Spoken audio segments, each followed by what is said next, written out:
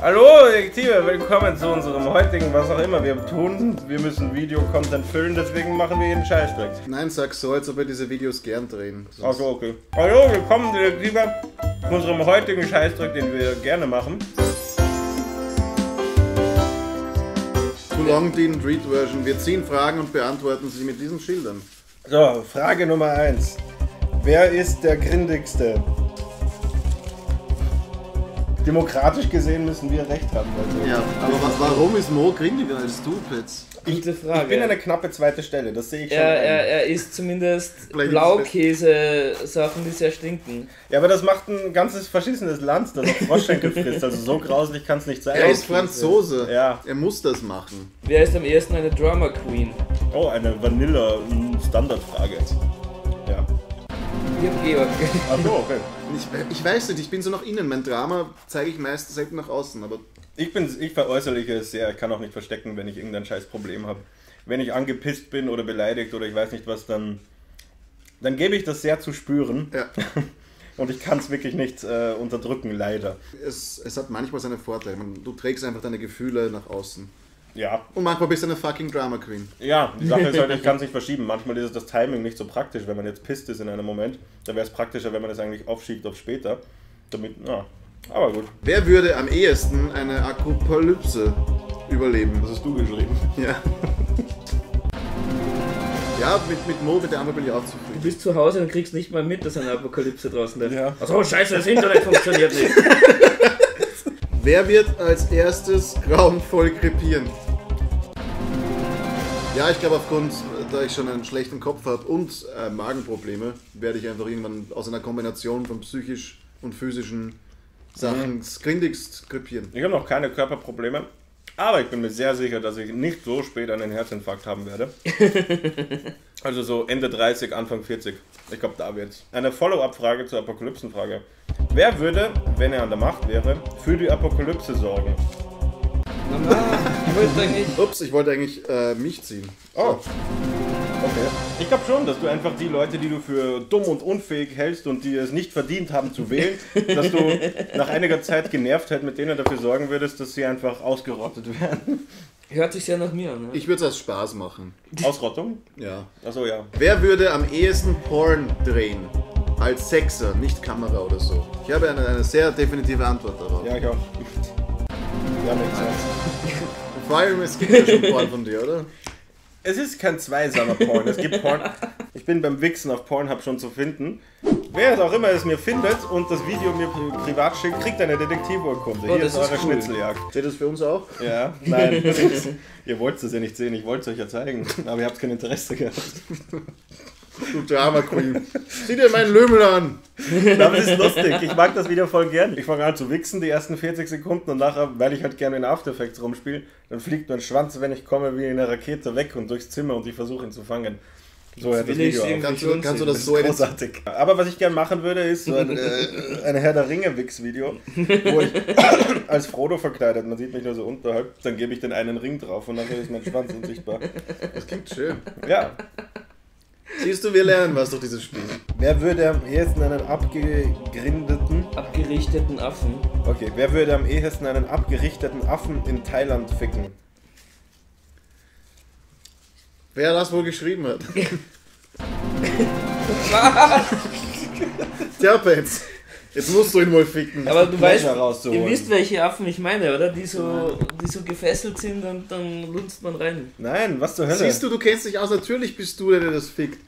was zur Hölle? Es Gibt's ist das sehr, ja, es ist sehr unethisch. Aber es gibt, aber es sind Affenprostituierte, die es Das, tatsächlich das ist richtig, ja. Ich, ich kann mir nicht vorstellen, dass es, dass es sogar dort legal sein sollte. Aber es passiert. Wer hätte gedacht, dass die Frage, wo ihr am meisten darüber diskutiert, die mit einem abgerechneten Affen zum Ficken ist? Naja, das ist interessant. Er sagt, das gibt's wirklich. Wer hat die meisten Dark Secrets? Bevor ihr anfangt, aber ich glaube halt immer, weil du, du kommst dann doch immer ab und zu mal mit irgendwelchen Verletzungen vorbei, die, die dann im Suff passiert sind. Das ist ja kein Und Tag, dubios wir werden einfach, sind. werden einfach mehr aufs Maul Glaubst, gehauen. glaubst du, er ist in einem Fight Club? Ja, wahrscheinlich. Das ist aber nur ein Dark Secret.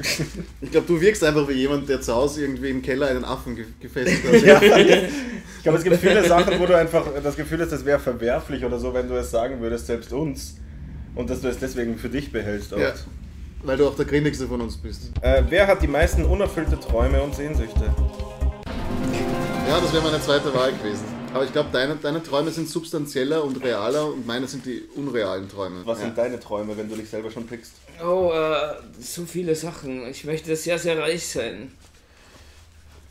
Das So ist ja viele Sachen. Boring, ja. Nein, aber ernsthaft, oder magst du nicht drüber reden? Doch, ja, weil natürlich wäre es mal cool, bei einem fetten Film mitzumachen. Weil ich ist schon, ein- sind schon Schritte weiter passiert im Profibereich. Das bildet man sich bei anderen auch ein bisschen ein, dass es mehr, dass es nach mehr ausschaut. Im Endeffekt, das, was ich mache, ist YouTube. Aber Wenn man immerhin, es auf etwas runterbricht, ich mache nur YouTube. Ich mache Werbung und Krimis. Ja, wir machen alle Bullshit. Wer hatte die meisten Konflikte mit der Polizei oder Justiz? Ja, von dir weiß ich nur ein paar Instanzen, wo du ein Polizeiauto. Wolltest du es klauen oder was ich wolltest wollte du machen? es öffnen in Okay. betrunken. Das war nicht so nett für die Polizisten. Und ich wurde auch schon aufs, Presi äh, aufs Department mitgenommen, weil ich zu laut Musik gehört habe. Wirklich, das wusste ich nicht. Wann Und auf die das? Bitte des Polizisten, dass ich es ausstellen sollte, habe ich es nicht getan. Weil ich gemeint habe, er kann mir das nicht vorschreiben. Aber er hat es mir vorschreiben können. Ich glaube, das können sie vorschreiben, ja. Wer kann am besten kochen?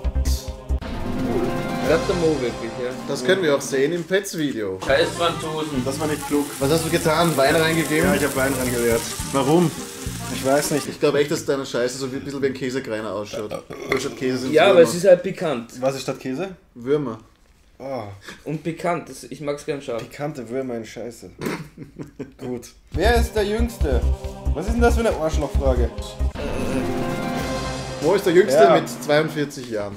Korrekt. Na, 27, die 32, 31? 31. 31? 32. Korrekt. Bin ich schon 27? Nein. Ja, ja Geburtstag stimmt. vor. Passt. Gut. Am selben Tag wie Hitler. Nein, Nein, nicht ganz. Das sagst du jedes Jahr. sag Hör ich auf, immer, Lügen zu verbreiten. Hitler hat am 20. gehabt, ich am 19. Er war vor Hitler. Wer wird als erstes Selbstmord begehen? Das heißt, wir werden alle Selbstmord begehen? Ja. Ja. Okay. Irgendwann wird dein Ruhm dir zu Kopf wachsen und dann wirst du dich umbringen. So wie äh, Heath Ledger eben. Oder, Oder das Fehlen des Ruhms. Irgend, ich werde irgendeinen Grund finden. Das ist die traurige Wahrheit. oder wie David Carradine, autoerotische Asphyxiation im Badezimmer, alleine beim Wichsen. Es gibt so viele Möglichkeiten. Alle treffen auf mich zu. Hast du die Frage geschrieben? Die habe ich geschrieben. Äh, hast du damit impliziert, dass es mehr als eine Person gibt, die selbst Alle. Ich weiß, happy ja, aber die. Sache ist, ich weiß, ich würde nie Selbstmord begehen, no matter what.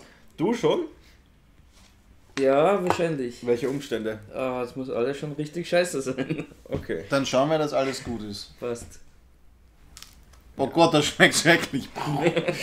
Ja, wobei, es gibt immer Umstände für Selbstmord. Immer positiv denken. Zigarette. Wurde euch schon mal auf den Bauch gekackt? Nein. Dir? Nein. Hm. Wer würde am ehesten Fürze essen? Easy. Ja, die Frage, wer würde am ehesten Fürze essen, beinhaltet ja, dass das Petz nicht schon Fürze gegessen hat, was er ja regelmäßig macht. Ja, Ja. die eigenen. Hast du schon mal fremde Fürze gegessen? Nein, noch nicht. äh. Willst du fremde Fürze essen? Kommt drauf an von wem. Hm. Am ersten von einer Frau. Von welcher Celebrity-Frau würdest du am ehesten oder am liebsten Fürze essen? Scarlett Johansson. Ja, das kam, schnell. Äh, Okay. Das ist anscheinend nicht das erste Mal, dass er Ja. darüber nachdenkt. Wer ist der größte Alki? Ich wusste, dass das kommt, ich wollte das gegenpositionieren. Du, ich bin, ich bin, auf, bin auf alle Fälle knapp dahinter. aber Ich trinke nur in sozialen Umständen. Ich trinke zu Hause zum Beispiel nicht. Also ich trinke nicht alleine. Naja, du trinkst, du trinkst schon allein. Du bist allein in einem Lokal, dann trinkst du auch. Aber das ist ein sozialer Umstand für Das mich. ist- Das ist vielleicht eine Ausrede des Alkoholikers. Ja, es ist eine Ausrede. Es ist Aber ein ich glaube, wenn ich jetzt in eine Stadt ziehen würde, wo ich keinen kenne, würde ich das auch alleine zu Hause machen. Ich trinke zum Beispiel nicht, wenn ich arbeiten muss am nächsten Tag, was Pets ja definitiv macht. Das stimmt. Ich trinke so oder so eigentlich wirklich selten. Du hast vorher gesagt, oh Gott, wir haben keinen Alkohol. Ja, zum Drehen Filme, das mag ich schon trinken. Da ist es irgendwie einfacher. Außerdem, ich sage, ich möchte was trinken und dann trinke ich Apple Cider. I mean, Wer masturbiert am ehesten zu seinem eigenen Gesicht? Easy, finde ich. Wobei, hm, es ist nicht so easy. Es sind nur die Gründe unterschiedlich. oh, Ich glaube, bei mir einfach nur aus Eben. wissenschaftlicher Neugierde, weil ich einfach neue Sachen äh, fühlen und erfahren will. Und bei dir, weil du dein Gesicht einfach saugeil findest. ich habe so Phasen, wo so, ich sag mal, zweimal im Jahr, wo ich mich wirklich geil finde und da könnte ich dann schon zu meinem eigenen, ich habe zu meinem eigenen Penis schon masturbiert, also ist das Gesicht nicht so fern. Ist es nicht irgendwie, man kann nicht nicht masturbieren, ohne zum eigenen Penis zu masturbieren. Ich meine als Bild. Du hast deinen Penis ausgedruckt und angeschaut. Ich habe ihn nicht ausgedruckt, ich habe ein Foto davon gemacht am Handy und habe mir dann so ein Foto geholt. Wieso? Weil es schön ist. Interesting. Wer wäre das beste Pokémon? Groß geschrieben. Du bist Missing No oder so etwas. Oh, interesting, okay. Was ist deine Begründung? Schauspielerisches Talent, du bist so ein Ditto-Pokémon, das einfach nur sich anpassen kann an die jeweilige Situation. Finde ich schön. Okay, Ich denke bei dem äh, nicht wegen dem Körper, sondern wegen was anderem am Pummeluch.